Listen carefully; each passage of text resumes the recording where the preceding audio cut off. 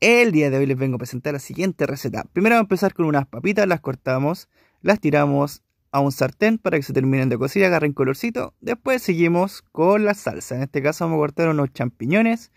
Pueden cortarlo finito, en cuadradito, de la forma que ustedes quieren, pero tengan cuidado de no cortarse solamente. Después las tiramos en un sartén.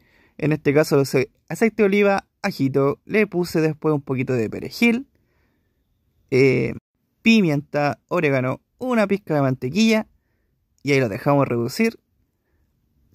Después ya le puse crema, pueden ponerle yogur o la cosa que más les guste. Ahora vamos a ir con la proteína, en este caso una pechuga, tan cortada al medio, tiene ajito, aceite de oliva, sal, un poco de pimienta, un poco de orégano.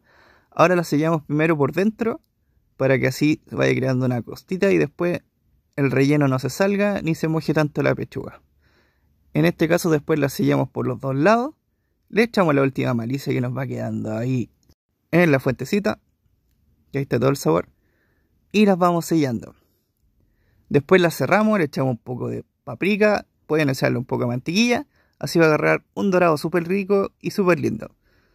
Ahora hacer esto, vamos a darle un golpe de calor. Y la pechuga va a quedar tierna y no se va a secar. Ahora vamos a seguir con el relleno.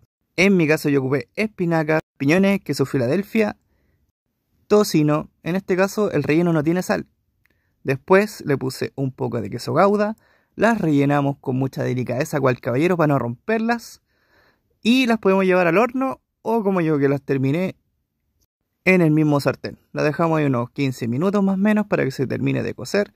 Hacemos el terrible montaje. Ahí está la papita, ahí está el pollo, ahí está la salsa. Hace la receta y a cocinar.